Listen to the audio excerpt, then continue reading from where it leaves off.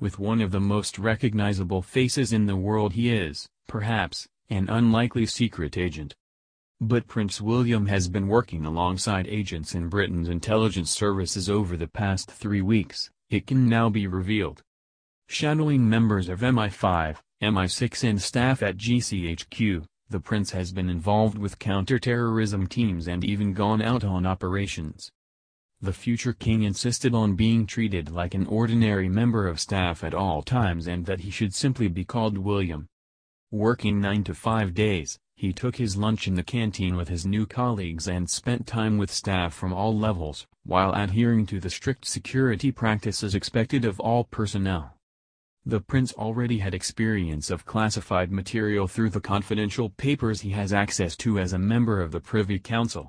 But his time with the intelligence services over the past few weeks has added greatly to the knowledge he can draw upon in the future. His top-secret work experience was revealed by Kensington Palace in a statement last night. Having completed his final day this week, the prince said, spending time inside our security and intelligence agencies, understanding more about the vital contribution they make to our national security, was a truly humbling experience. These agencies are full of people from everyday backgrounds doing the most extraordinary work to keep us safe. They work in secret, often not even able to tell family and friends about the work they do or stresses they face. They are driven by an unrivaled patriotism and dedication to upholding the values of this country. We all owe them deep gratitude for the difficult and dangerous work they do. William spent his first week at MI6, whose officers work secretly overseas, developing foreign contacts and gathering intelligence that helps to make the UK safer.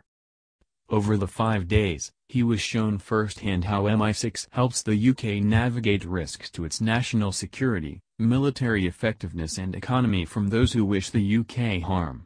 MI5 was next, where he worked alongside counter-terrorism teams to see how they conduct their investigations. He finished his assignment at GCHQ in Cheltenham, where he spent time with those using cutting-edge technology to identify, analyze and disrupt threats. He was photographed in GCHQ's 24-7 operations center where intelligence officers work through the night keeping the UK safe from terrorists, serious criminals and cyber attacks.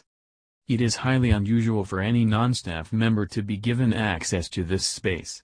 David, the GCHQ head of counterterrorism operations and whose full name cannot be revealed for security reasons, said, William worked exceptionally hard to embed himself in the team and comfortably held his own among some highly skilled analysts and operators. His Royal Highness asked some probing questions and demonstrated a real grasp of our mission. The Queen retains a great interest in the intelligence services. In February, she made a visit to GCHQ to mark its centenary celebrations. Her grandson's time there came just weeks before he is due to visit Christchurch, New Zealand where he will honor the victims of the recent mosque terror attack which left 50 people dead. The trip is being carried out on behalf of the Queen, who no longer travels abroad. William's work experience also took place as efforts continue behind the scenes to prepare him for the role as the next Prince of Wales. It is well known that his father is also taking on an increasing amount of work from the Queen, now aged 92.